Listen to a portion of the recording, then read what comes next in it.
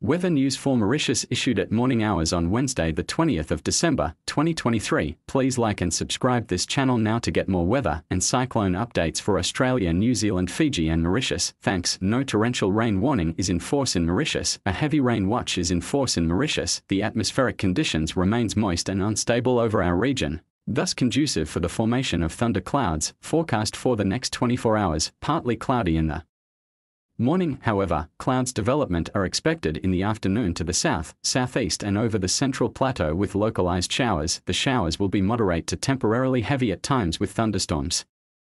The maximum temperature will be between 25 and 27 degrees Celsius over the central plateau and between 29 and 32 degrees Celsius along the coasts. The minimum temperature will be between 19 and 21 degrees Celsius over the central plateau and between 23 to 25 degrees Celsius over the coastal regions. Wind from the northern sector at 15 kilometers per hour strengthening with gusts and showers, sea moderate beyond the reefs with waves of the order of 1 meter 50, becoming rough temporarily rough in thundery. Showers ventures at sea are not advised during thundery showers. In case of thundery showers, it is advised to remain in safe places and avoid open areas, hikings, sea ventures and sheltering under trees.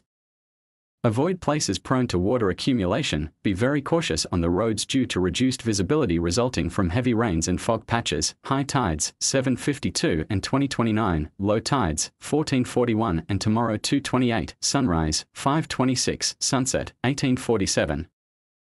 For Australia today, ex-tropical cyclone Jasper is currently located in the Gulf of Carpentaria and is producing areas of thick cloud with embedded thunderstorms over far northern Queensland and the top end. A broad band of cloud with isolated embedded thunderstorms is present east of A, trough extending from northeastern Victoria through central New South Wales and into a low in southwestern Queensland. A secondary trough also extends from near Port Macquarie to a low offshore and southeast into the Tasman Sea. Isolated elevated thunderstorms within a band of mid to high level cloud are present over southern inland Western Australia. Onshore flow is producing low cloud about the southern coastal fringe of the continent and along the east coast of Queensland.